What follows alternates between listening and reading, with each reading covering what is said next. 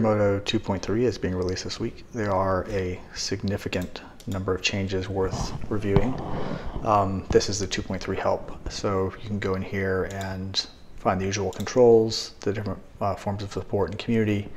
Um, if you're going through GridSpace, you're going to want to come down here to the version menu and select 2.3, which I'm already running.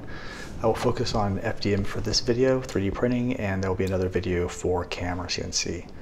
The first thing that you'll notice is the visuals have been um, rewritten and you'll notice that when you go in and do like your first slice of a part. You'll notice the, the 3D uh, rendering versus the flat or the lines in previous versions.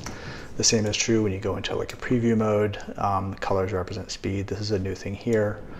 Um, and there are a lot more layers that you can turn on and off. I'll get into that a little bit. There are many more application preferences uh, about the way the UI behaves, um, the line types for rendering, which I'm going to go over, and in CAM mode, unit support is a lot better.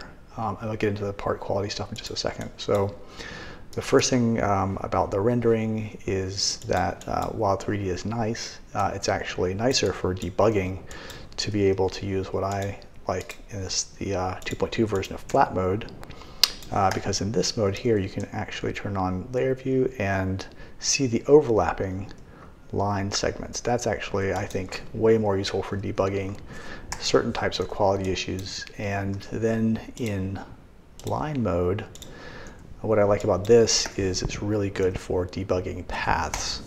Um, such as like G-code paths. So let's turn on the movements, which is cool, but then you can turn on arrows that show you exactly what's starting and ending where and what direction they're going. And in FDM mode, you can turn on retractions so you can see where your printer is doing retractions.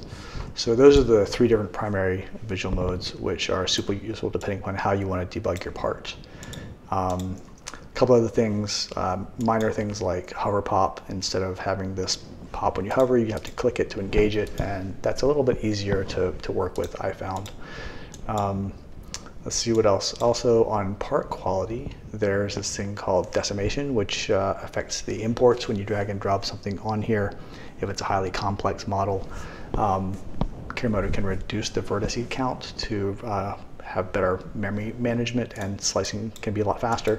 Um, it doesn't really affect the slicing quality of a part um, in terms of the output that you print for highly complex models, but that again is left in your hands. The quality part right here affects uh, the slicing and the G-code output. So let's say we bring in Benchy, for example, and um, if the default is good here, let's just slice that with some default settings and see what it looks like. On the bow of Benchy, it looks pretty smooth. Um, there may be a little bit of dimpling, but we can always go to best and that'll go away. Let's go to fair and see what happens to the quality of this here. You get a little bit more dimpling on the, on the surface here. Um, let's go down to poor. Now, you're gonna ask, why would you wanna do this? Um, there are a couple reasons. For some printers, uh, this results in um, a lot smaller G-code files uh, that can't keep up with finely detailed models.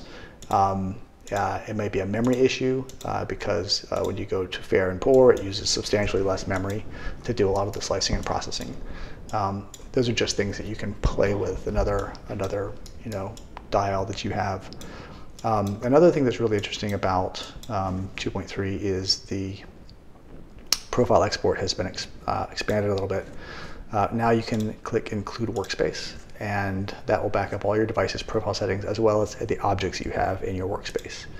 So once you've got this here, um, I can share that with anybody else. They can replicate my environment or um, suppose I'm doing some other kind of work here and I drag this back on it'll show me what I had before. And if I say yes, it will basically reconstruct the workspace that I had. So that's really super useful for both debugging, saving old work, um, engaging with people for support, and all those kind of things. So there are a couple of things that are uh, useful in the preferences that um, are relatively recent.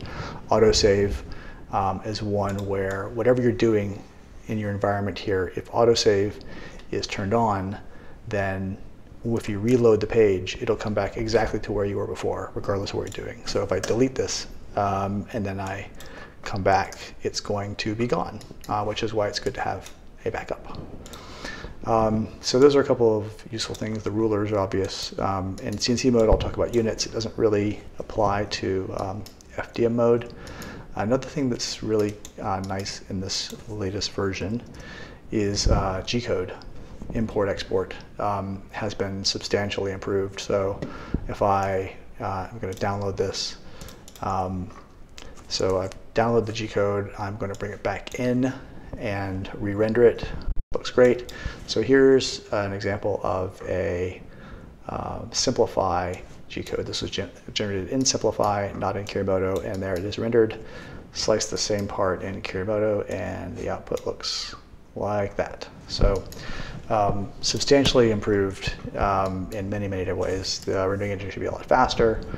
Um, please hop on over to the forums uh, or on Discord um, and provide feedback and uh, get support and check out other YouTube videos.